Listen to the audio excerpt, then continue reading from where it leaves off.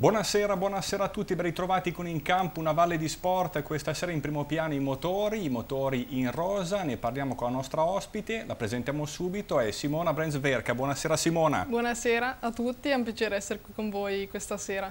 È un ritorno gradito per noi, penso anche per te Simona, Certamente. giusto? Perché abbiamo raccontato il tuo primo titolo tricolore Motorelli nel 2017 che poi hai bissato nel 2019, esatto. giusto? Spieghiamo che cos'è il Motorelli per chi non lo conoscesse. Il motorelli è una disciplina che viene praticata con la moto da enduro, ci sono diversi terreni, possono essere fango, sabbia, sassi, un po' vario. E il percorso solitamente è molto lungo, dai 150 a 180 km e all'interno di questo percorso ci sono i settori selettivi dove vieni cronometrato. Siamo le prove speciali, come si dice nel rally, no? Potremmo esatto. dire, facendo una, un paragone. Vediamo che in mano hai uno strumento che è molto importante nel tuo sport, ma lo scopriremo fra pochi istanti. Prima riavvolgiamo il nastro e torniamo agli inizi. Simona, quando scopre i motori? Eh, quando ero piccolina, all'età di 6 anni, è arrivata la prima motoretta e poi da lì la cilindrata è cresciuta. Che moto era? Era una motoretta a benzina che usavo sotto casa, molto piccola. Che vediamo nelle immagini lì, che ci hai esatto, portato. Esatto, poi da lì sono passata alla pit bike, al cinquantino e poi al 125 dove poi sono entrata nelle gare. Una passione trasmessa da chi? Dal padre ecco. e anche dalla madre, tutte e due. Tutta la famiglia è sempre stata appassionata e mi hanno sempre portato in moto fin da quando ero piccola. Da lì ho iniziato a continuare a chiederla finché il Babbo Natale a sei anni è arrivato. Ricordiamo Simona, sei di Sondrio, giusto? Esatto.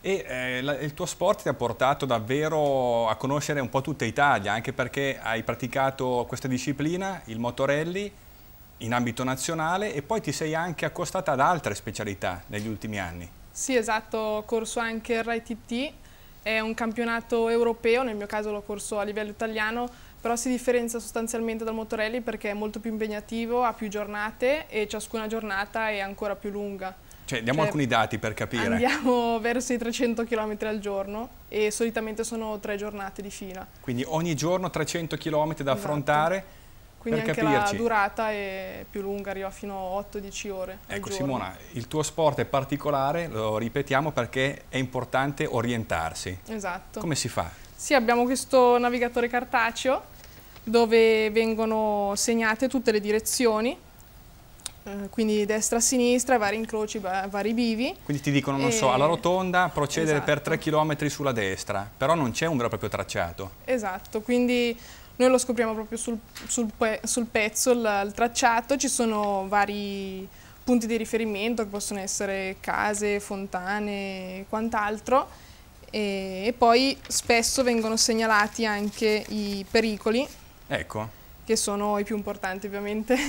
Da evitare. Come vedete qua è sottolineato perché il giorno prima quando ci consegnano il roadbook noi lo andiamo a guardare, lo studiamo, soprattutto le speciali e lo sottolineiamo. In particolare, ad esempio, poi ognuno lo personalizza a suo modo. Io faccio tutte le direzioni a destra di un colore, a sinistra di un altro, piuttosto che i pericoli di rosso. E, e quello si tiene sulla moto, giusto? Esatto, viene montato sul manubrio e tramite un pulsante sulla sinistra viene mandato avanti man mano che superi le note.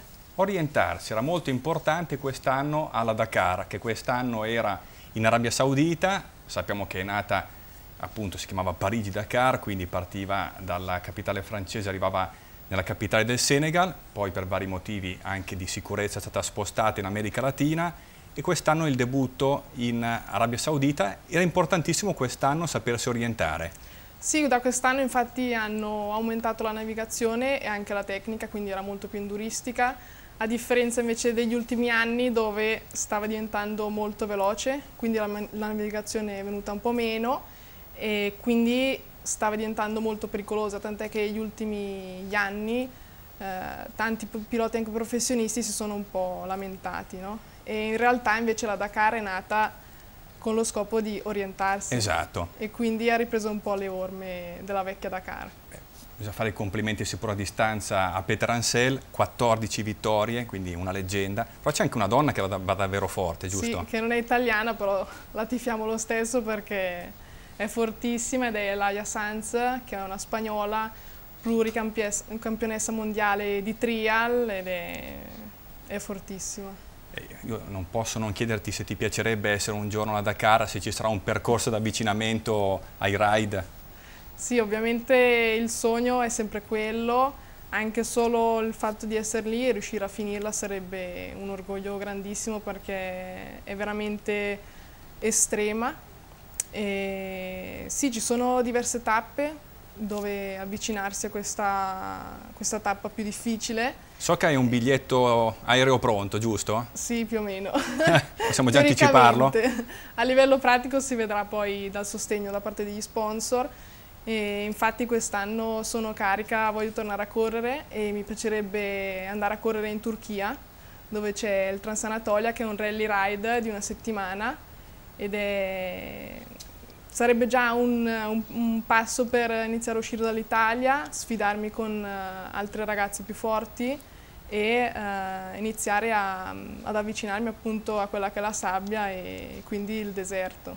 Ecco, una domanda che ti faccio e penso che interessi anche i telespettatori, come si vive da donna eh, in un contesto che è prettamente al maschile o comunque la stragrande maggioranza degli atleti sono, sono maschi? Sicuramente in modo positivo, poi una delle cose molto belle di questa disciplina è proprio il fatto di poter gareggiare insieme agli uomini e fare anche lo stesso percorso e quindi è un'opportunità per potersi confrontare anche a livello di classifica e vedere davvero dove, dove sei. Poi preparazione atletica immagino importante nel tuo sport perché è uno sport anche di resistenza fisica. Sì, sì, è molto duro, quindi Oltre alla moto si fa anche la parte aerobica, quindi bici, nuoto, corsa e poi la parte di forza che è la palestra. Dove ci si allena? Dipende, allora in moto in pista da cross solitamente e in qualche fettucciato nei campi e, e poi in bici tutta la valle, su e giù e chilometri di dislivello. Quindi piste che sono adeguate al tuo sport, quali possono essere nella nostra zona, in Lombardia? Quali sono i riferimenti? Le più vicine sono a Tovo e a Bosisio e poi le altre vanno verso Milano, quindi sono un pochino fuori. In questi giorni abbiamo parlato nel telegiornale anche del sogno di una nuova pista di motocross che ha coltivato questo sogno da Max Fortini, papà di Seba, cosa ne pensi? Eh, questa sarebbe una grandissima opportunità sia per chi corre, quindi nel mio caso, ma anche secondo me per tanti giovani che hanno questa passione ma dovendo uscire un po' da, dalla valle tante volte magari si tirano indietro e quindi perdono questa opportunità e quindi tanta stima Fortini, sicuramente è un impegno grosso ma porterà tanta soddisfazione. Anche perché è importante avere luoghi in cui allenarsi in sicurezza, dove ci siano diciamo, tutte le strutture adeguate. Ecco. Sì, la sicurezza in questo sport soprattutto è la cosa più importante, essere tutelati eh, è importante. Ad esempio fra me e Simona c'è un plexiglass, lo dico, lo ricordo, che ci separa, la distanza di sicurezza c'è anche perché è stato un anno particolare. Simona, 2020 l'abbiamo detto un anno difficilissimo per tutti, eh, per i motori anche. 2021 visto che negli anni dispari tu vai forte, 17 titolo italiano, 19 titolo, titolo italiano, il 21 che cosa c'è in agenda?